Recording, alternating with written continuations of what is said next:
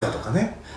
皆さんこんにちは。衆議院議員の松原仁。松原仁の国会 YouTube 今日は高橋洋一先生とお話をします。あの先生、はい。えーまあ、中国の武漢でね、えもう感染者が全然増えてないと、えで非常にそれ嘘だっていう声があったり、ええ。そうだっていう声があったりしますが、先生この辺どうお考えですか？え まずね中国の武漢の統計を私は統計なんで、統計のやり方をずっと追ってるんですよ、そしたら 2, 2月にね3回統計の方法を変更してるんですよ。え？統計の方向を3回変更変更してる。あのね統計を変更っていうのは統計っていうのはある目的で作るから、統計を変更するってことは実はあり得るんですけどね。その時に大原則があってね、変更した時には従来のやり方のデータも出すんです、2つ出すんです、で3回やってると本当は4本出てなきゃいけないんだけど、出てないんですよ。要するに新しいのしか出てない、新しいのしか出てないってそれはもうそこの段階で実はもう使えないっていうので終わっちゃうんです統計としてそりゃそうですよ。3回違うものが出てるっていうのは中国が統計の仕方を違うようにしてますよとこれは公表してるん公ですか？表してます。している、で公表してるんだったら普通はだから変えても私はだから変えてもいいって言ってる、2つの系列旧旧統計新統計出してくれくれれば、実はそれはそれで使えるんですよ。でも旧統計が出ない。ってい。うのはこれもう使えないですよ。つだからもう使えないっていうのは終わっちゃうんですよ。統計の専門家から言うと。もっと言えばじゃあ今の数字が正しいとか新しい感染者がゼロとかって意味がないってことですか？だって使えないじゃん。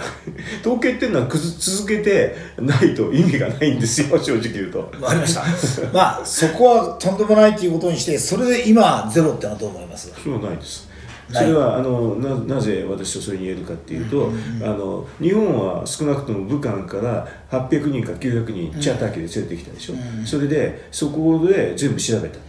で中国のあと同伴者が中国人の人も全部調べた、ということはあれはね中国の武漢からのランダムサンプリングって言ってね、ある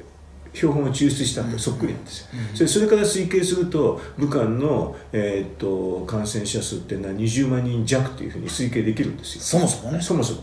それで20万人弱だと今は多分16万人かそこらぐらいになってるはずなんですよ、今はね、それでも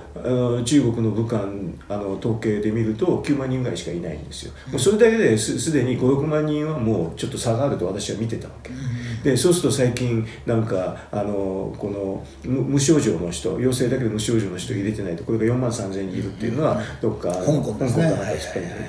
私それ聞いてもねまだちょっと足んないんじゃないかなっていうそんな感じ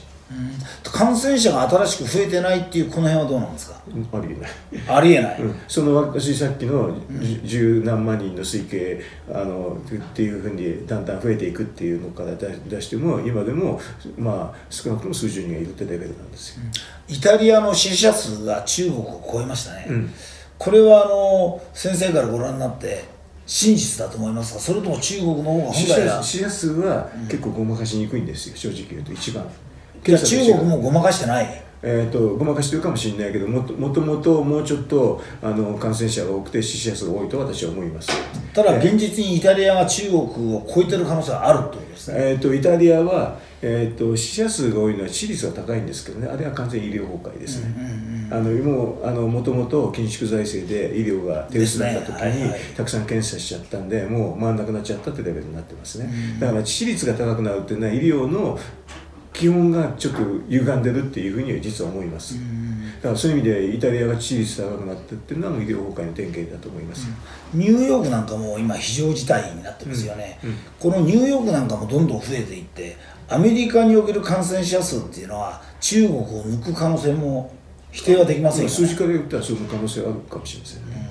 ただもともとの元凶であった中国がこのウイルス自体がアメリカから持ち込まれたとかね ああいうことを言うこと自体が非常におかしな話なんですけど,、ね。医療のとか医学の立場から見ればおかしいんですけど私あの国際政治の専門でもあるんだけど、国際政治で見るとこの病気っていうのは新しい武器なんですよ。それで新しい外交手段なんで、それから考えるとこのなんていうかなそれぞれの国が情報合戦するっていうのはあのパブリックディディプロマシーっていう分野であってね、そのいろんな情報戦で打ち勝ってやるっていうのはよくある話なんでそれはあの国際政治から見れば、まあ、当たり前の話ですだからこう逆に言うとこの時にあのこの病気を使ってワクチンを最初に誰が開発するかっていうので、覇権争いもできるからいいです、これ変な話ですが中国の細菌兵器だという人もいますが、うんうん、そうであれば中国がすぐワクチンを出すはずですよね。つまりそういうことではないってことでしょ、まあ、あの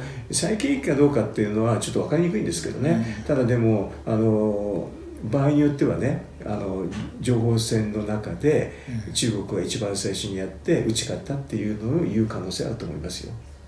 でそれはもうあのこの、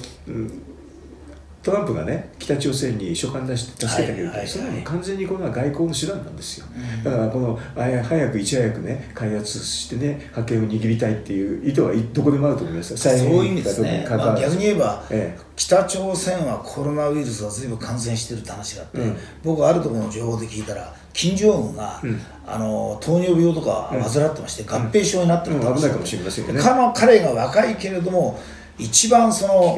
自分自身でコロナウイルス恐れてる。それは危険でしょ情報があるんですよ。なんかあの年齢とと関係なくてねあのなんか合併症合併症あるじゃダメでしょ？だから、うん、キム・ジョンは自分が糖尿っていうのは認識してるでしょうからね、まあ、あの肉体見ればかなりそのコロナウイルスに弱いんじゃないかと思いますね、うん、だからその時にトランプがあの手紙出すのよくわかりますよね。トランプ。は一般の北朝鮮の人民ではなくてトランプに対して。そりゃそうでしょ。今言われてる勝った時に中国と、ね、あの国境のねあれも禁止してそうすると中国で人の上禁止すると国連制裁がもっと効くんですよ。国連制裁が効きながらトランプは分かっててキム・ジョンに大丈夫かって言ってるでしょ。でトランプなんて時々キム・ジョンの安否確認のためにこの間あのハモンって言ったようなもんですから。あれ言って握手すると分かるんですよ健康状態が。トランプそんな分かりますから握手だけで健康状態が。向こうの人はすぐトランプあれでしょキム・ジョンの DNA かなんか全部調べに決まってますから。トランプの手手に残ってる人はあのキム・ジョンの DNA 調べる。健康状態を調べるに決まってるじゃないですか。これは合併症恐れてるはずそうそう恐れててあのあとね来て本当に体温とか全部測ってるだろうからあれおそらく。あれ健康状態見たいからトランプ会いに行ってるんだよ。握手するのも、うんそれはそれはそういうもんですから国際政治は。なるほどいや。国際政治で考えるこれをね、うん、中国がプロパガンダに使うのもよくわかるしここでみんな今あの米中の間で貿易戦争じゃなくて貿易っていうのはねあのクオランティーノ、うん、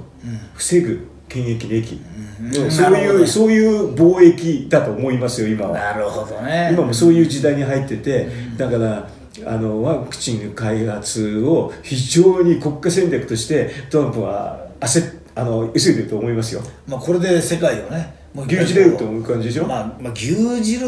手前ぐらいまでいくでしょうな、ね、ここでワクチン最初やったらみんなそこに感謝してそっちになびきますよ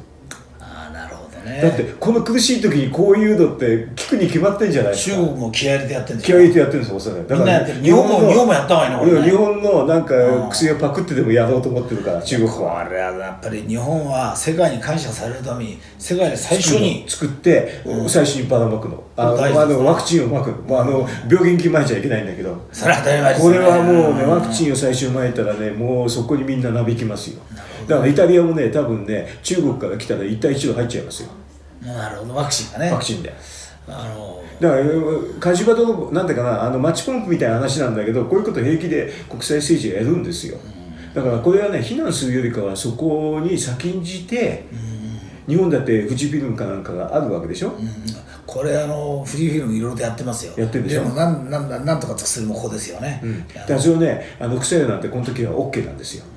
緊急性ですよね、うん、それであのだからこういうふうな情報戦とあとねあのこの医薬医療を通じた国際戦略っていうのをぜひ国会議員のぜひ私はねここでこそ国会議員のお仕事のような気がするんですけどね。わかりました。あの、えー、高橋さんからのご示唆あのちょっと検討したいと思います、まあ、いずれにしても我々はですね手洗いうがいをしながら元気でやっていきましょう。もう人間はね免疫力が大体今までウイルスに全部勝ってたんですよねだからあの集団免疫って考え方あるんですけどね。あれは無策ですからね。あそうですね。やっぱり努力をして何もしない無意無策ではなくて頑張っていきたいと思います、はい、今日どうもありがとうございました